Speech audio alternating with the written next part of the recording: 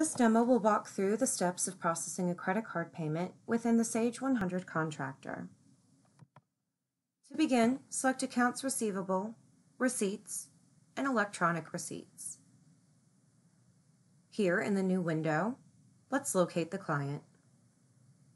If you'd like to save payment information, make sure that the box is checked. Click Display Invoices.